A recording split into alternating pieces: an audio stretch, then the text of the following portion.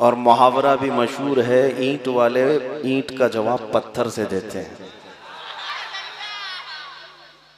अल्लाह ताला आपका इत्तेहाद और यूनिटी इसी तरह बरकरार रखे।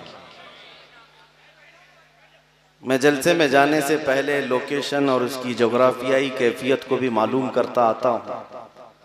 किस खत्ते से हमें खिताब करना है, इलाका कहाँ पर है, किस तरह के लोग हैं अल्लाह का बड़ा एहसान अजीम है कि आपके यहाँ कसरत से मुसलमान आबाद हैं। और तुम्हारी ये आबादी बहुतों को खलती भी है, परेशान करती भी है। लेकिन इससे कुछ फ़र्क नहीं पड़ता।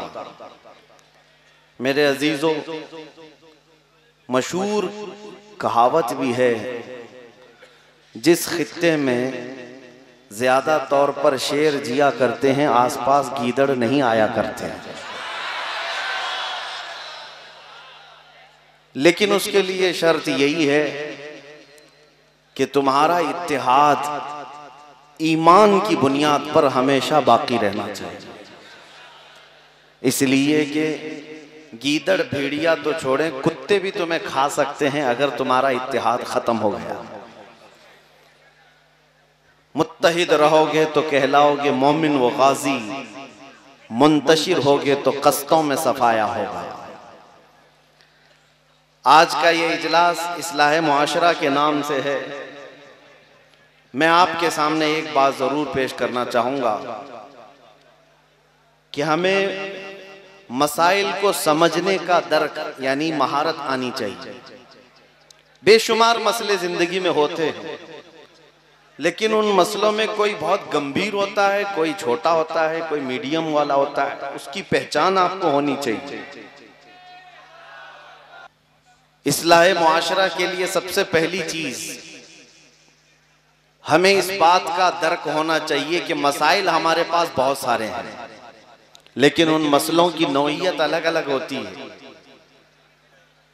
और मौका महल, ये भी तमाम चीज़ें इंसान को सबसे पहले ये सीखना चाहिए। अब आप जवान हो गए, इसमें से बहुत सारों की जवानी भी खत्म होने को आ गई। अगर वो अब तक मसाइल को समझ ना सके तो दुनिया में यूँ ही आए थे और यूँ ही चले भी गए। अजीजा ने गिरामी आज के जो मसाइल हैं, ये नए नहीं हैं, हर जमाने के हैं। हर जमाने के। लेकिन इनकी शक्लें बदल जाती हैं, नाम बदल जाता है। आज बेशुमार मसाइल हैं तुम्हारे सामने गुफ्तगु करने के लिए। इसीलिए मैं कहता हूँ कि मिसाल के तौर पर अगर कोई हमारे हमारे बारे में अभी आकर ये कहे, मुआशरा तालीम में बहुत पीछे है, एक मसला है, बड़ा मसला है। इल्म से कोसों दूर वो उम्मत है जो पूरी दुनिया को इल्म देने के लिए आई इस उम्मत का आज हाल ये कि इनमें गाने बाजे तमाशों की कसरत है। यहाँ पर फहाशी का दौर दौरा है, बद अखलाकी आ गई है। किरदार नाम की चीज़ नहीं, ये सब मसाइल हैं। सूद का कारोबार हमारे मोहल्लों में। नशा सबसे ज़्यादा बिकना और बेचना और करना और कराना हमारे मोहल्लों में। कितने मसाइल का मैं ज़िक्र करूँ? लेकिन मैंने जो सबसे पहले आपके सामने बात अर्ज़ की वो ये है, जब मसाइल बेशुमार होते हैं तो इंसान को ये सोचना चाहिए कि मुझे फोकस किस पे करना है? किस मसले को मैं गौर से देखूँ और किसका हल निकालूं? उसकी एक एग्ज़ाम्पल मैं आपको देता हूँ, मिसाल देता हूँ। अल्लाह हज़ार बार ना करे। किसी के घर में आग लग गई। और आग के शोले पूरे घर को लपेटे में ले चुके हैं। और आप किसी तरह से घर के अंदर जा चुके, आपका एक बच्चा घर के अंदर है। एक बच्चा जो अज़ीज़ जान है, वो घर के अंदर मौजूद है। आग लगी है चारों तरफ़ से। आप अंदर चले। लेकिन जहाँ बच्चा है वहीं पर एक आपकी माल की आपके सोने चांदी जवाहरात की आपकी कमाई की अटैची भी मौजूद है। आग की लपेट में वो भी है। एक तरफ़ आपके पैसों का माल का सोने चांदी का सुटकेस है और एक तरफ़ आपका बच्चा भी है। दोनों भी आग की लपेट में है। अकल रखने वाले किसी भी इंसान से मैं पूछना चाहता हूँ जब भयानक आग लगी हो और आप बचा सकते हैं इसमें तो पहले किसको बचाएँगे? अपने बच्चे को बचाएँगे। कोई भी यही जवाब देगा।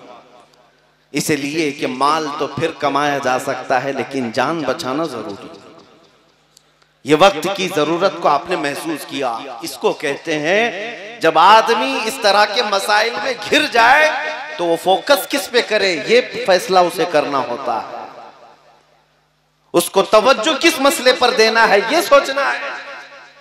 आज इन मसाइल को अगर हमारी कौम और कौम में मौजूद उलमा समझ लें कि हमें फोकस किन मसाइल पर करना है तो लड़ाइयों, झगड़ों में आज हमारी दिन और रात खराब नहीं होते। इसलिए कि मैं आपको बता रहा हूँ, मेरे अजीजों, आज हमारे किरदार की बेतरतीबी, हमारे इल्म का ना होना, हमारी औरतों की बेपर्दगी बहुत सारे मसाइल हैं। आग लगी हुई है। लेकिन इन हज़ारों मसाइल में मैं आपको बताता हूँ, सबसे बड़ा मसला जिस पर फोकस करना चाहिए, वो इज़्ज़त रसूल पाक है। वो नामों से रिसालत का मसला है। नबी करीम सल्लल्लाहु अलैहि वसल्लम की इज़्ज़त पर जब हमला हो तो यूँ समझ लें कि हमारी सिर्फ़ नहीं, पूरी कायनात की जान पर हमला। जान है वो जहान की, जान है तो जहान है। जो अहम और इंपॉर्टेंट मसला होता है उस पर फोकस करना इंसान समझ ले। अब मसाइल से भी मैं अर्ज़ गुजार हूँ इसलाह मुआशरा के लिए। आप उन मसाइल पर ज़रूर गुफ्तगु करें तन्हाई में, जिन मसाइल में आपको तसल्ली नहीं, तशफी नहीं। लेकिन आज उम्मत को कोई रास्ता देखने वाला कोई नज़र ही नहीं आता। ये जिस तरह से जूझ रहे हैं मसाइल से इनका हल क्या है?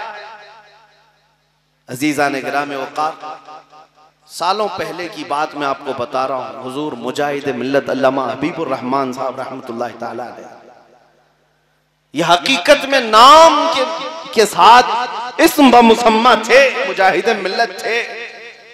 उनके दौर में जब ये जुल्म बढ़ता जा रहा था और इमरजेंसी के हालात भी आए थे। उस वक्त उन्होंने ये फरमाया कि मैं उम्मत को देख रहा हूँ, इस कदर हालात में परेशान है और इनके लिए एक जगह को भी हमारे पास फुर्सत नहीं रह गई। उस जमाने की बात कर। तो कहते हैं कि मैं चाहता हूँ कि अकेला चला जाऊँ सदर जमहूरिया के पास, या बाहर बैठ करके मैं धरना दे दूँ अकेला। तो आपसे किसी ने कहा, आप अकेले जाकर क्या करेंगे? तो कहा कि, वहाँ जाकर के कहूँगा। कि, आज तो हमारी हालत यही है कि साथी साथी कह के पुकारूं, साथी हो तो जवाब आए। फिर झुंझला कर सर दे, पट खूचर ले, मौला वाली आज उन्हीं हालात के हम शिकार हो गए अजीजा ने गिरा में वकार